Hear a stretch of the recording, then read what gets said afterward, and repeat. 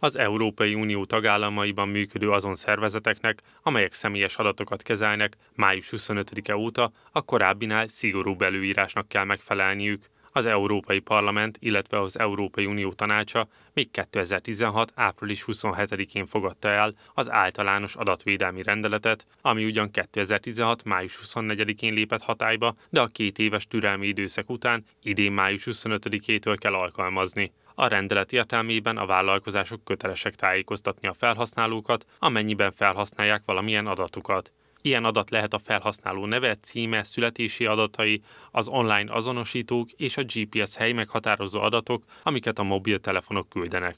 A GDPR alapvetően komoly változásokat tartalmilag nem hoz a jelenleg hatályos vagy korábban hatályos infótörvényhez, azaz a magyar adatvédelmi jogszabályhoz képest.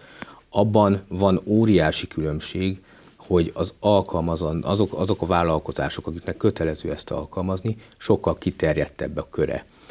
Korábban alapvetően a nagyvállalkozók, közszolgáltatások alkalmazták az adatvédelmi szabályokat, most pedig már egészen kis vállalkozások, egy egyfős egyéni vállalkozó is köteles betartani bizonyos szabályokat. A vállalkozások esetében mindenképpen szükséges, hogy az adatok felhasználása jogszerű legyen. A tájékoztatójukban szerepelnie kell, hogy milyen adatokat tárolnak az érintetről, kinek továbbítják azokat, hogy a felhasználóknak milyen jogaik vannak, és hogy kihez lehet fordulni esetleges érdeksérelem esetén.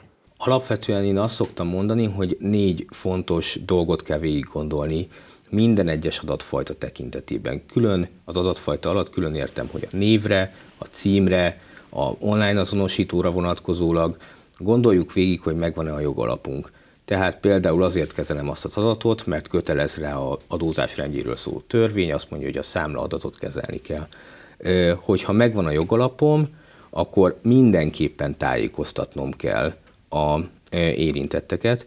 Alapvetően ez az, ami a legtöbb vállalkozást érinteni fogja. Bodó Gergely elmondta, a vállalkozásoknak érdemes csak azokat a szükséges adatokat felhasználni, amelyek valóban a szervezet fejlődését szolgálják, vagy a tevékenységük tekintetében indokoltak.